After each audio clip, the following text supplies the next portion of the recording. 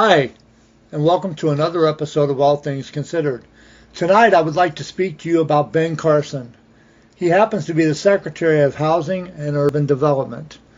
And in a recent interview that he did, that the New York Times published, it says Ben Carson, Secretary of Housing and Urban Development, emphasized the idea that public housing options should not be too comfortable for residents, lest they become dependent on the government services. Well, what the hell, Ben? When people are making $771 a month, where in the hell else are they supposed to live? How are they supposed to survive? I don't get it. In an interview published Wednesday in the New York Times, he said that to be compassionate, officials must not provide a comfortable setting that would make somebody want to say, I'll just stay here. They will take care of me. Ben, we're not saying that. What we're saying is that we're unable to work a full-time job. Our brains aren't constructed as properly as yours is. We want to work. A lot of us want to work and we would love to be able to handle a full-time job. But we're unable to do that. So we're on disability making as much money as some people spend on lunch and a day at the store shopping for clothes. So, rent is high, therefore we have to have public housing. We can't afford to pay a thousand, two thousand, three thousand dollars a month for rent. People that have things can't understand how people that don't have them are not making it because you can make it. And I'm not down on people that work. People that work hard for their money deserve the fruits of their labor. If you work hard and you make good money, whatever you have in your life is yours. And I appreciate that. But please, don't look down on somebody that has less than you because you don't understand why they complain about not being able to make it. I wasn't gifted with a great brain. Yes, I am an artist. I can draw, but I'm also on disability. And I tend to have issues which keeps me from working a full-time job. I would do anything in the world to be able to work, have a place to go to in the morning, and be able to come home at night to my apartment. I would love to be able to do that. I would make a whole hell of a lot more than I am now. But I'm not complaining. Not really. I just want people that are not in my shoes to walk a mile in my shoes sometime so they understand just how difficult it is. Now, Ben Carson, you don't seem to understand any of this, and that that's fine. I get it. But saying that you think public housing should not be that great because it'll make people just want to stay there, for some people, that's the only thing that they have. That's not what they want, but that's what they have. So they make the best of a bad situation. It says here, noting that Carson, a retired neurosurgeon, has no experience working in public policy, the Times recounted the Secretary's tour through the various residences his department manages. Several of the residences mentioned in the interview seemed displeased with Carson, and one notes that her meeting with him felt staged. One of the women mentioned, however, she was a fan of Carson and had him sign a copy of his book. Summing up his philosophy of public housing, the Times Square noted that Carson was like, We have some people who are mentally ill. We have some elderly and disabled people. We can't expect in many cases those people to do a great job or to do a great deal to take care of themselves, he said. But he added, there is, no, there is another group of people who are able-bodied individuals. And I think we do those people a great disservice when we simply maintain them. And yes, I agree with that. I do. There is an awful lot of people that are taking care, they're taking advantage of the system. They have slipped through the cracks and they get disability and they're able to work. But over time, they mentally handicap themselves. They get used to getting that government check every month.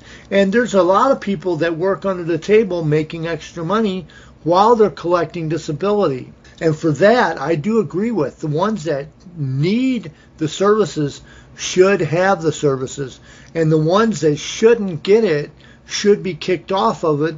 But how do you do that, and how do you weed out the services without destroying everything? Because it's hard to know who's available uh, for this service and who's not able to get the service, who's mentally handicapped and who's not. It's real easy to fool the system. I know loads of people that have done that. They fool the system every day. Carson also comments on Trump's proposed cuts to HUD, which would slash 13% of the department's budget. Carson said he thinks Trump's intentions is to point out problems with some of the department's programs and that many of the programs targeted won't be won't actually be ended. Um, yeah, I mean, what more can I say? At first, I was kind of down on the fact that Carson was going to be targeting um, the HUD project and that he was talking about not making apartments quite so um, comfortable that you want to stay there, and and I, and that's true. Like with minimum wage jobs, for instance, minimum wage jobs were not meant as a career. You were getting out of high school, going into college. You wanted to get a little job history under your belt. You wanted to get a little job knowledge, so you get a job working at the local burger joint making less than minimum wage an hour or minimum wage depending on where you're at. Then you get into college and you work for a degree. You get yourself something better so when you get out, you don't have to go back to the burger joint unless you want to become the manager or the owner someday. Then you work your way up the chain of command and you become the manager or the owner. A lot of people nowadays do not go to school. They do not learn. There's no trades out there. There's nobody teaching anybody anything. There's no apprenticeships anymore to where you work under somebody and you get knowledge of the job and then you go on and do that job. That's gone. When you get a job, um, basically that job was only supposed to be for the summer. When you're in high school, you get a job in the summer, you work that summer job, then you go back to school in the fall then you get off in the summer and you work that job again. That gives you good job experience. But now a lot of people have to work a minimum wage job, and that wasn't meant for us, the grown up. It was meant for the high school student going into college, maybe the college student to make extra money while they're going to college. Um, you were supposed to be uh, working a job to where um, you could um, uh, get something better when you get out of school. But that's not how it turned out.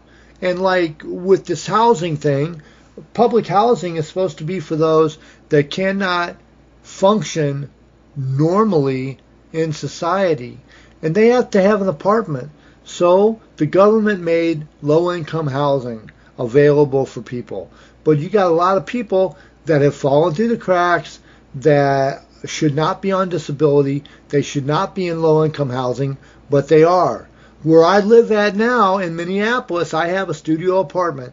It is four hundred and forty dollars a month. It's a, it's supposed to be 384 square feet. I think it's less than that. I think it's 284 square feet because I live here, so I know. I think it's probably less than what they say it is, but I pay $440 a month for rent. Now, every year the rent goes up $5. I'm on disability. I make $771 a month. I am not eligible for low income housing through public housing. They tell me I'm not eligible for it.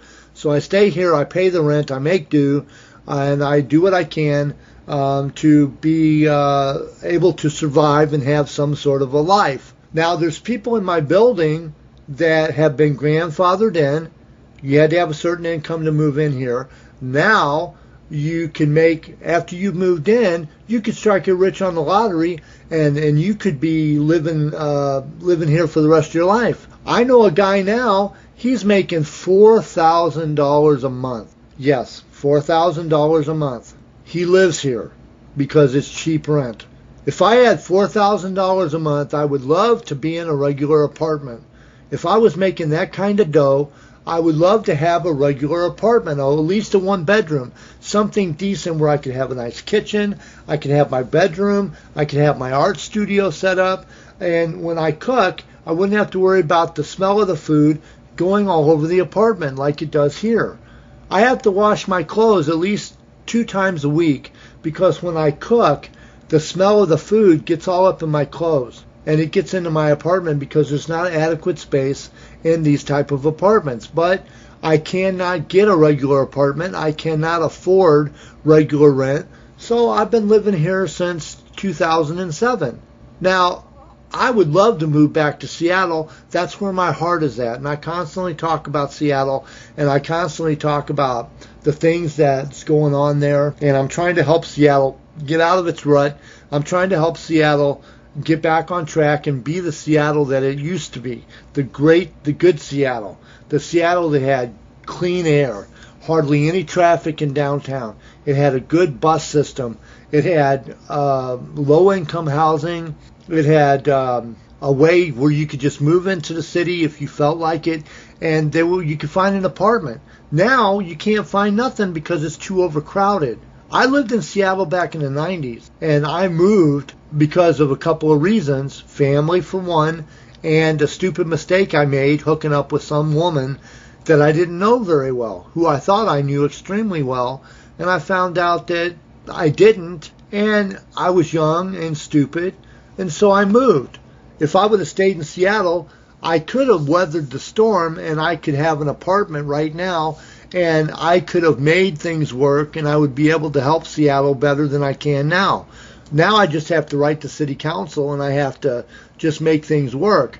But back then I was in Seattle and you know I I moved. So now I'm making the best of a bad situation which is not that bad. It just is kind of bad. But Ben Carson, he doesn't really know anything about any of this. He's put into a job that he doesn't understand, and he's talking about things, and he's got good ideas for some stuff. He does, and and I get it, and that's fine uh, that he's like that. You got to finally admit that you're way over your head instead of just trying to slump through like Donald Trump is doing as president. He has absolutely no idea what he's doing. I'm sure he means well. I understand what's going on, so I'm not as down on him as a lot of people. I understand that, that Trump never wanted to be president. Somebody f- stuck him in office, and it wasn't the voters, contrary to popular belief. Y'all think he was voted in, but he wasn't. Somebody put him in office. And to be honest with you, this may sound bad, but I think Trump was put into office to get our minds off of the last eight years of Obama because there's people out there that hated having a black president. I thought it was great. If Obama could have got more stuff done, that would have been better. But he did the best he could with what he had to work on coming out of eight years of uh, George W. Bush and all the major financial strains that we've had. But even with Bush, after he got out of office, he's done a lot of good. He's not a horrible person like people think he is. He just made horrible decisions while he was president. So, anyway, um, speaking of Ben Carson, he means well, and I understand what he's talking about, but he doesn't really know what it's like to be homeless, or he doesn't know what it's like to be low income and stuck on public housing because he's never been there. He doesn't understand. Like me, I've been homeless before. And I know what it's like to be homeless, and I know how to get out of being homeless if you want to truly be out of being homeless.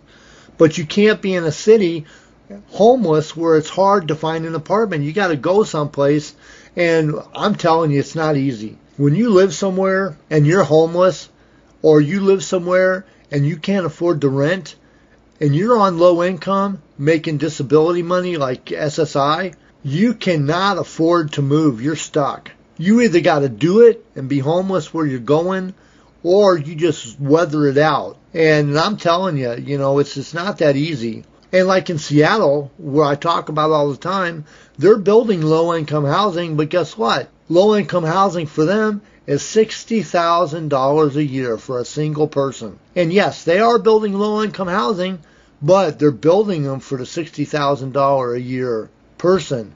So when you take 30% of the area median income and you have to pay that, that's still going to run you um, about uh, maybe a thousand to two thousand dollars a month because they're putting those low income apartments in areas where they're making between 80 and 150 grand a year. You got to take the area median income and split that in half. And you do that well, basically the area median income, you take that and uh, you take the total amount from say 80,000 maybe on the low end and 150 on the high end and then you take 60% of that.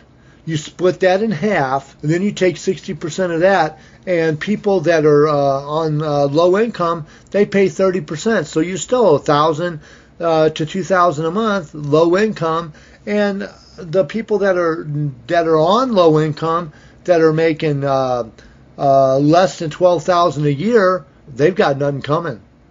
On that note, uh, remember Ben Carson. It's possible HUD could be changing, and it's possible that low income prices for apartments could be going up. So what you pay two to two hundred and a half for an apartment might be going up here shortly. I'll keep you posted that. Anyway, if you like my videos, please put a big old thumbs up. If you want to subscribe to my videos, hit the bell. If you got an idea for a better video, please put it in the comments below. If you uh, think that uh, I need to hop off and take a long trip to another planet, let me know that too. I'll put some uh, uh links in the description to give you more information about what I'm talking about. This has been All Things Considered. Have a good night, America, Seattle, and all points beyond.